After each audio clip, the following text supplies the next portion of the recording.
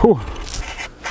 31 декабря никого не смущает из любителей лыжного спорта нашего города. Вы видите, как на трассе оттачивает свое мастерство Володя Дергачев, Кон и Шапахаев.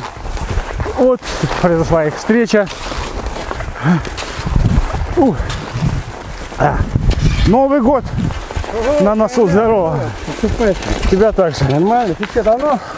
Ну, я-то это, на сопку ходил туда-сюда, я уже ухожу. А Володя еще кружок сделает. Давай.